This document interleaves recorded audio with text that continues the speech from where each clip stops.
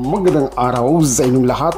Narito ang ating latest updates kay Herlin Hifon na kung saan Herlin Hifon nadulas during sa kanyang photoshoot o ang pagkanta ni Herlin Hifon sa kanyang birthday celebration. Narito ang full video at ang doc ni Herlin Hifon. Panoorin pa natin. Ako si Calendar TV.